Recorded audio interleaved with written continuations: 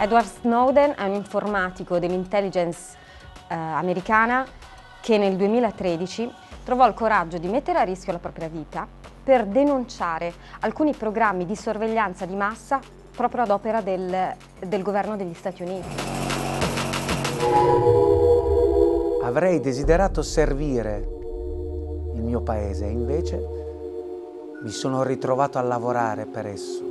Nessuno si aspettava che dietro questa figura segreta ci fosse un ragazzo. Tutti pensavano che questa spia, questo informatore, ehm, ex informatico della CIA fosse un veterano, um, una persona eh, di una certa età con alle spalle tantissime esperienze. E invece nel 2013 tutto il mondo è rimasto eh, stupito da, da, dallo sguardo di questo ragazzo, aveva 29 anni, un nerd, con gli occhiali, le guance incandescenti, ehm, un, il sorriso abbozzato, impacciato, che però ha avuto un coraggio, ha messo a rischio la sua carriera in favore di una verità. Quindi eh, era consapevole che ehm, denunciando questi programmi top secret avrebbe perso il suo lavoro e una vita privata. Però ha trovato il coraggio di farlo e nel momento in cui si è esposto al mondo l'ha fatto con un candore con una lealtà che è riuscito comunque ad entrare nel cuore delle persone. Quindi lui alla fine risulta essere un po' uno come noi, un, un ragazzo che può essere davvero il vicino di casa, un amico. Affermare che non si è interessati alla privacy perché non si ha nulla da nascondere è come dire che non si è interessati alla libertà di parola perché non si ha niente da dire.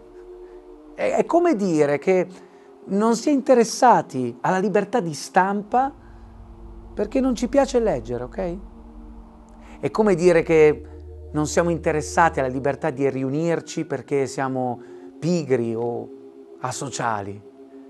Non è detto che se una cosa non ti interessa adesso non debba interessarti per sempre.